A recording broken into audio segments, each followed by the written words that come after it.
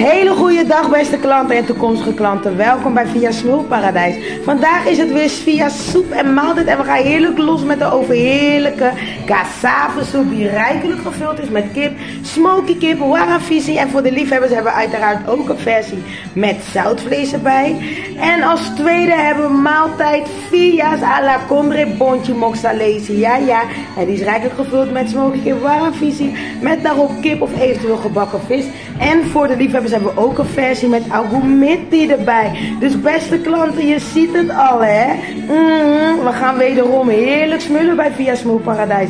En inmiddels weet je wat je kan doen. Je kan tik je telefoon naar je bel gewoon of kom gezellig langs, want je weet het.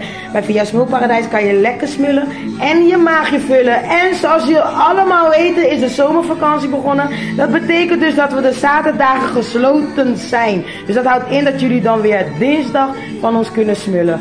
Alvast een fijn weekend en eventueel tot straks. Bye bye.